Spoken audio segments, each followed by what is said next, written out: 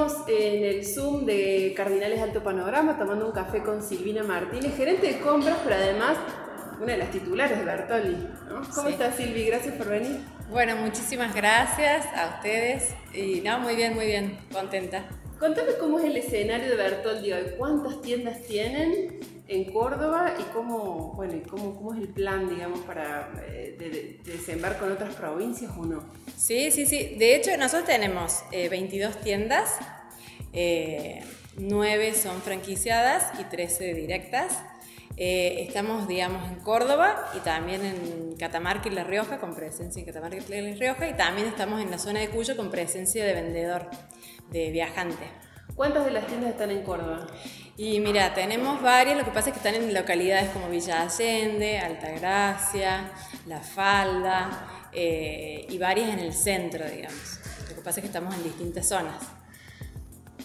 Antes, fuera de, esta grabación, de este podcast, me contabas un poco la historia del nombre, que me pareció que, es que está bueno, de la, empresa en sí, sí, ¿no? Es una empresa que tiene 90 años ya y que originalmente fue fundada por Don Bertoldi, que después la, adquieren ustedes. Cuéntame cómo fue un poco eso, ese camino. Bueno, eh, como te comentaba, eh, mi papá cuando, cuando compró la empresa ya tenía este nombre, él se dedicaba, porque ha sido, digamos, químico industrial, se dedicaba a, hacer estas, estos eh, bueno, hacía aerosol en esa época y, y revendía. Bueno, cuando compró la empresa, eh, bueno, contaba con este nombre y él empezó, digamos, a tener que ir a Buenos Aires a comprar mercadería y demás. Y bueno, y entonces resultó que él por ahí decía, bueno, yo soy Raúl Martínez, vengo de Córdoba. ¿Esto en qué año fue, Silvi? Y imagínate, te estoy hablando hace 45 años atrás. Entonces él iba y bueno, y por ahí como que decían, bueno, ¿quién es? o ¿de dónde viene usted? Bueno, entonces como que no lo reconocían. Cuando él decía, no, bueno, pues yo tengo un negocio que se llama Bertoldi, era como que ahí le abrían las puertas y decían, ah, Bertoldi, sí, de Córdoba, usted se dedica a la peluquería. Bueno, entonces eh, mi papá decidió en ese momento eh, dejarle ese nombre. ¿Cuál fue el punto de inflexión? Porque yo recuerdo que hace varios años atrás Bertoldi estaba fundamentalmente en el centro y era un negocio que le vendía sobre todo peluqueras, ¿no? como como un público muy, muy específico y ahora es como que se masivizó. Sí, a ver. ¿Cuál fue el punto? Eh, nosotros eh, nos dedicamos a todo lo que es la comercialización de productos de belleza. Siempre nuestro origen, digamos, ha venido desde el lado del pelo, digamos, desde el lado de la peluquería. Nosotros nos vemos muy identificados eh, con este cliente y obviamente que bueno, que ha ido evolucionando la cosmética, la industria de la belleza, entonces bueno, hemos ido eh, evolucionando con esto y acompañando a todos los profesionales de este rubro. Eh, también incorporando otros rubros como es la estética, el maquillaje, las pestañas, las uñas, eh, entonces, bueno, ha ido evolucionando la industria y hemos, bueno, con eso ido acompañando eh, todo este crecimiento y bueno, y hemos ido eh, sumando tiendas y, tratando de llegar a estos clientes, al cliente, digamos, porque bueno, con esto de, la cercanía, de estar más cerca de nuestros clientes y de encontrarnos muy, bueno, muy cerca de ellos. ¿Identificás así algún año o alguna época que dijeron ustedes, bueno, no, además de ir a los peluqueros, tenemos que ir a llegar a todo el mundo, digamos, a la señora que se tiñe en su casa, al que se está por, eh, eh, al que, se quiere maquillar. ¿Recordás un momento así que vos digas, bueno, este fue el punto de inflexión que la vimos y dijimos, tenemos que masivizar?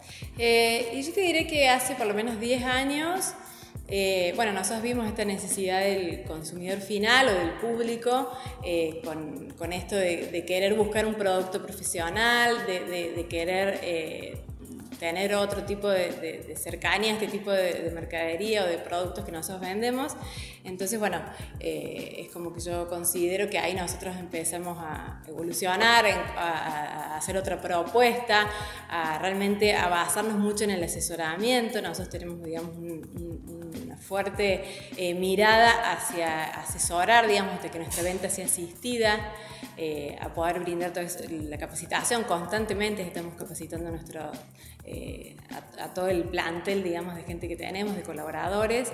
Entonces, bueno, tenemos una mirada muy hacia la atención, hasta el asesoramiento, o sea, de buscar, digamos, eh, que el cliente realmente encuentre, digamos, un un servicio, una calidad, un asesoramiento eh, que nos diferencie. Porque además eh, en todo este tiempo, eh, de un tiempo a esta parte en realidad se han, también han aparecido una infinidad de productos. Porque antes yo me acuerdo cuando éramos chicos, había dos o tres estilos de shampoo, ahora hay 800 para el pelo, poquito lacio el pelo que tiene una ondita para el no sé qué, o sea, hay un, abanico de productos inmenso, ¿no? Ha crecido mucho la categoría. Bueno, es una industria que yo creo que es una de las que más ha crecido. Eh, también se ha incorporado en este último tiempo todo lo que es eh, la tendencia del hombre, digamos, que se cuida más, que, la barbería, que en estos últimos años se ha desarrollado un montón. O sea, eso ha ido que evolucionando y obviamente que la gente cada vez eh, busca más productos especializados. Si vos tenés rulo, para el rulo, si tenés el pelo finito, para el pelo finito. Eh, o sea, como que cada vez hay más variedad y donde uno puede encontrar realmente el producto indicado para, eh, bueno, lo que estés buscando o de la necesidad puntual que tengas. Y se empieza a ver, en la industria, en la categoría, esta tendencia del consumo sustentable. Sí, sí. Cada vez más, o sea, cada vez más hay una tendencia a esto. Eh, de hecho, que hay muchos productos ahora que vienen sin parabenos, sin sulfatos, eh, eh, cruelty free, o sea, productos que tienen, que están más desarrollados en base a la naturaleza. Hay muchas líneas, digamos, y mucha investigación en, este tipo de, productos y cada vez, digamos, yo creo que la gente también se ve más involucrada en averiguar, en investigar, en buscar este tipo de, productos. Silvi, ¿cómo impactó? Eh, yo, yo, los miro a ustedes y, se me viene a la cabeza la, la, campaña, Like Pro. ¿Cómo impactó la campaña en la, en la marca? Eh, la verdad que fue una campaña eh, muy, muy linda para nosotros, nos vimos muy representados. Eh, bueno, esto, esto de sentirnos como un profesional, o sea, sentirte como un profesional, eh, nosotros nos vemos muy identificados con los profesionales de esta industria, entonces fue como, como que realmente nos pudimos eh, hacer propios esta idea, también con, digamos, con lo que fueron las imágenes, con lo que fue toda la cartelería que también se, montó en, digamos, negocios. Eh, bueno, este año hemos largado otra campaña, ahora muy recientemente, que se llama eh, Obsesionate con la Belleza. Eh, así que bueno, estamos muy, muy contentos con el trabajo que está haciendo la agencia y bueno, y con esto de, poder mostrarnos y, de, bueno, identificarnos, digamos. ¿Cómo siguen los planes de Bertoldi de acá a fin de año y para los próximos años? Eh, bueno, la verdad es que somos bastante movedizos, eh, siempre estamos buscando divertirnos. Eh, estamos con un proyecto ahora muy importante de, cambio de, centro de distribución. Nosotros tenemos un centro de distribución, desde ahí abastecemos a todas nuestras sucursales. Está? en la Julia Roca. en el 900, es acá cerquita de Ruta 20. Y bueno, y ahora estamos con un proyecto, nosotros tenemos mil metros cubiertos y estamos por pasar a un, centro de distribución de 4.000 metros cubiertos. ¿A dónde, Silvia? Eh, nos mudamos a la otra cuadra. Ah, ahí en zona. ahí en zona, sí. Pero cuadruplican la capacidad. Sí, sí, sí, sí. Cuadruplican. Sí. Eh, así que bueno, estamos muy entusiasmados con esto porque bueno, la verdad que estamos un poquito apretados. Eh, y bueno, con nuestra idea es seguir creciendo, seguir, digamos, ampliando nuevos mercados, eh, eh, con franquicias, con sucursales, digamos, con tiendas. Entonces, bueno, como que apostamos a que, bueno, este centro de distribución nos pueda servir, digamos, para, para desde ahí poder tener un, un, mejor abastecimiento, para poder hacer una mejor distribución, tener una mayor llegada, tener, digamos, más comodidad en el sentido de de estar no tan apretados. ¿Eso cuándo va a ser? Y esto va a ser para el 22, así que estamos, sí, sí, sí. Ah, este mes. No, no tanto como este mes, pero yo calculo para, que para enero o a lo sumo febrero Ah, para el 2022, sí, bien, sí, sí, sí. Eh, este, este, mm, este año tienen 22 locales, 22 tiendas, me decías, y la idea es llevarlos a cuántos, a cuántas. Bueno, mira, eh, vamos de a poquito nosotros porque nos gusta por ahí que, que bueno, como ir creciendo a paso firme. Tenemos alguna idea de cuatro posiciones más, eh, o sea, por lo menos cuatro lugares vistos ya como posibles lugares de tienda.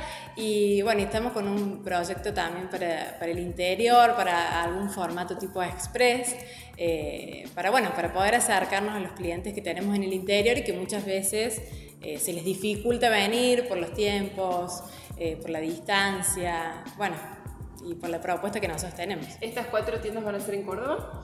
No, no, la idea es algunas en Córdoba y algunas también sigue siendo en el interior. Bien, y para este año serían.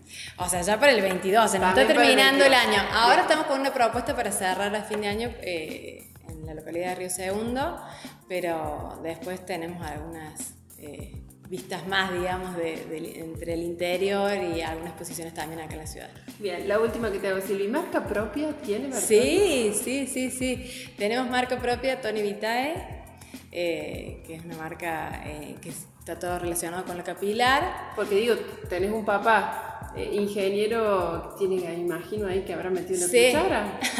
bueno, bueno, no, no, no, tanto, pero más o menos. Él es el, el, promotor de esta línea propia que se llama Tony Vitae, que es nuestra marca emblema. Eh, y la verdad que sí, obvio que él es, como su hijo, digamos, esta marca, ¿viste? Él se dedica a todo lo que es, eh, o sea, no, no, fabricamos nosotros directo, pero sí, digamos, en todo lo que es el diseño, los productos y demás. ¿Qué tiene cuántas líneas de productos? No, a ver, la línea tiene distintas tipologías, digamos, de máscaras, shampoo, aerosoles, eh, bueno, ampollas, línea de nutrición, de reparación. Eh, y también estamos con un proyecto de, eh, de, una línea, digamos, para todo lo que es uñas, eh, todo lo que es manos y uñas, que se llama Seki, que también hemos lanzado este año. Así que estamos muy contentos con, con los desarrollos y las propuestas que tenemos para... Y los desafíos, porque digo, para el año que viene tienen estas aperturas, el centro de distribución, fortalecer estas marcas de la de uñas, por lo menos, que es nuevita, ¿no? Sí, sí, sí, sí. No, estamos muy contentos, la verdad que, bueno, le ponemos mucha pila entre todos, es un trabajo en conjunto. Eh, y bueno, vamos, digamos, tratando de, de innovar, de bueno, de traer propuestas nuevas. Aparte es una industria que se mueve mucho, digamos, entonces, viste, constantemente están saliendo nuevos productos, eh, nuevas técnicas. Entonces, bueno, como que tratar de estar eh, en la vanguardia.